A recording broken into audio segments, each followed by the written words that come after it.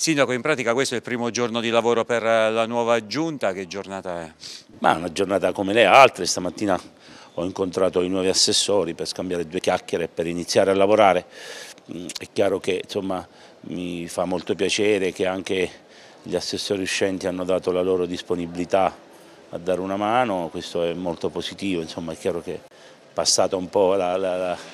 l'insediamento, adesso bisogna pensare a lavorare per quello che è stato il mandato che i cittadini ci hanno voluto assegnare per la seconda volta, questo è importante, dobbiamo pensare al bene di Teramo e, e a risolvere i problemi della città. A mente fredda tutto quello che è accaduto nel corso del primo consiglio comunale, come lo giudica? Normale, perché è sempre accaduto, bisogna tenerne conto ovviamente, bisogna tenere conto che c'è qualche situazione insomma, che va, va, va debitamente considerata,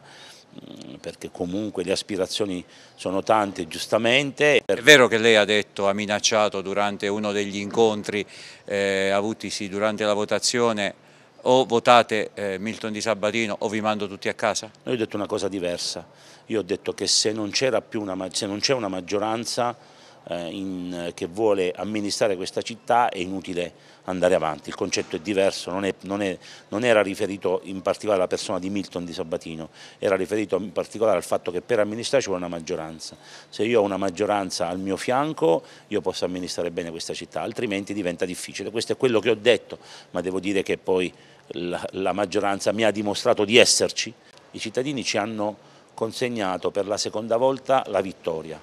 eh, ci hanno detto che vogliono, vogliono, che noi amministriamo questa città, lo dobbiamo fare bene, eh, nella consapevolezza del voto e soprattutto nell'interesse che è l'interesse pubblico, che è l'interesse comune. Questa mattina ci sarebbe stata la conferenza stampa per la TEAM rinviata molto probabilmente a domani, eh, l'argomento qual era? Cantagalli resta al suo posto oppure va via? Cantagalli ha già detto che non resta al suo posto perché